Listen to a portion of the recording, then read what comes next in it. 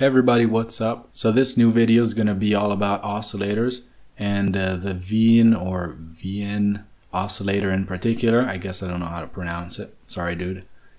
And uh, first thing we're going to do is take a look at how oscillators actually work. Then we can look at this particular circuit and uh, try to build it and see how it works.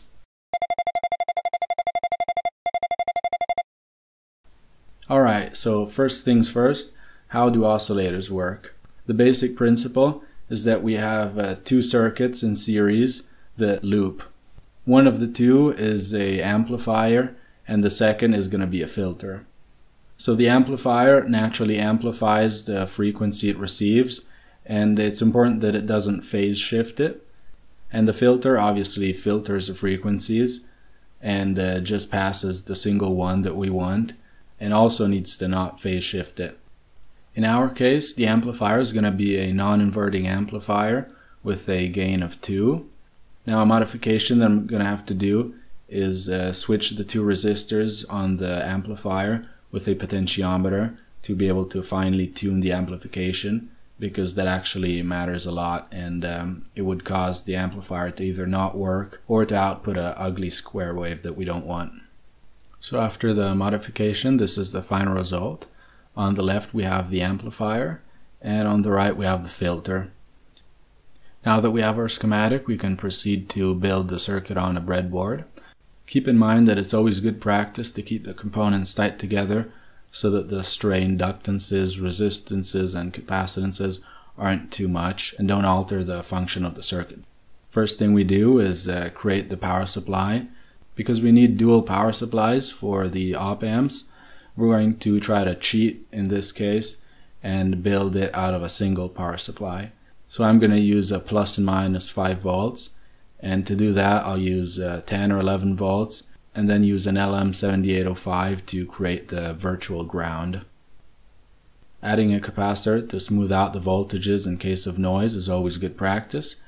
And after that we can insert our op amp in my case an LM358, and connect it to positive and negative. After that we can add our potentiometer and connect it. And after that we can add the resistors and capacitors. Remember that the resistors have to have the same value and the same goes for the capacitors.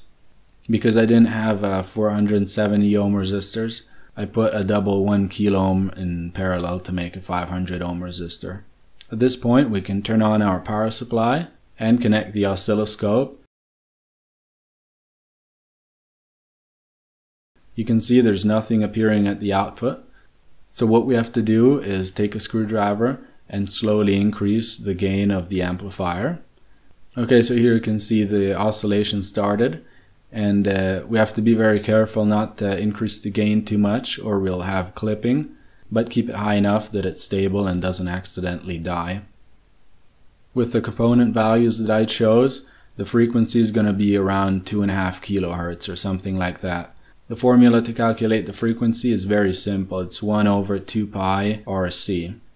With this circuit, you can achieve too high of frequencies. 10 kilohertz is probably the maximum for basic op amps on a breadboard. In case of higher frequencies, we need to use different circuits. So I think the result is pretty satisfying. One thing I should still point out is that this circuit is meant to be variable in frequency. By adjusting the value of either the two capacitors or the two resistors, the frequency goes up and down based on the formula. The problem with this is that not only the frequency changes, but also the attenuation of the filter. This means that the oscillator is very unstable and either stops oscillating when you increase the frequency or clips like crazy when you decrease it. So I decided to avoid this part and just try to make it stable and uh, functional. The objective of this oscillator was to make a capacitance meter, which hopefully I'll be able to show you in the next video. Alright, so thanks for watching and I'll see you in the next one.